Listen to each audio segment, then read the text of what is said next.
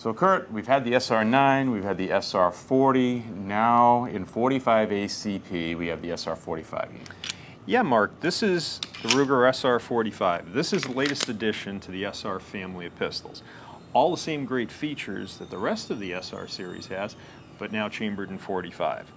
The thing that's really neat about this is that you've got a, an ergonomically superior gun in 45, very, very thin and very shootable. You've got a through-hardened stainless steel slide mm -hmm. with a through-hardened stainless barrel.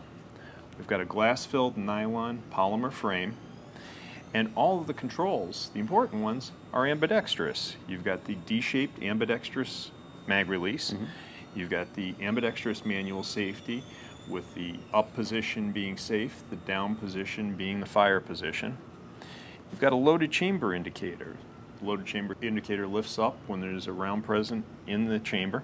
It also comes with adjustable three-dot sights, adjustable for both windage and elevation. It has a reversible back strap that can be turned around to either arched or straight by removing that pin and sliding the back strap out.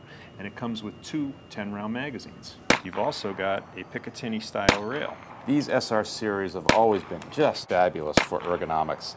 There's a little recess here for your fingers when you get a good tight grip on the gun, your fingers have a place to go. So it's just the most comfortable package and you'd hardly know this is a 45 ACP. This is 10 rounds, was a staggered column magazine, fits the hand very well, very shootable.